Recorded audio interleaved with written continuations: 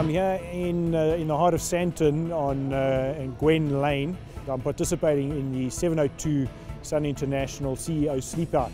The idea is that uh, you know we sleep pretty much out in the open to try and experience or gain experience of what homeless people might uh, might experience on a on a daily basis. And it's all in, in aid of charity. The beneficiaries of the charity are uh, Girls and uh, and Boys Town.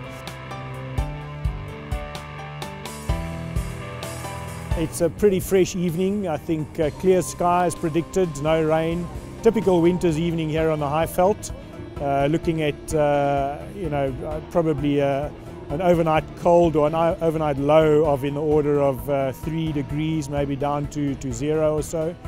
obviously, there are a lot of people around. there is access to some coffee, I think, throughout the night. Um, and, you know, a nice sleeping bag has been provided. I'm not sure that uh, you know some of the homeless people always have, have those kinds of, of, comforts.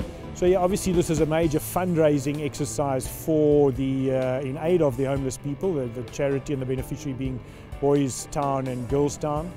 Uh, I think each CEO has uh, basically set a challenge to raise uh, raise 100,000 rand, and they were targeting a, a minimum of 250 CEOs.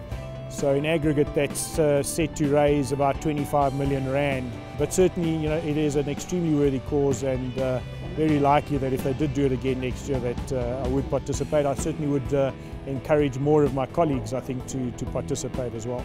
It uh, could be uh, potentially quite a nice team building exercise. I think maybe next year we can have the entire EXCO join here and we can collectively raise you know, run a bit of a competition internally to see how much money we can raise for this cause.